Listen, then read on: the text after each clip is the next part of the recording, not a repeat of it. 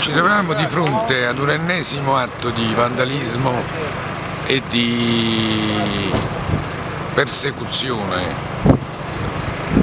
Di fronte a questa nuova amministrazione che si sta adoperando in tutti i modi per poter rendere il Paese più vivibile e più consono a quelle che sono le esigenze moderne anche per quanto riguarda la il problema di, di, degli smaltimenti. Indubbiamente in una giornata come questa è impossibile, è impossibile che non ci sia la mano di qualcuno per cui si sia sviluppato questo incendio.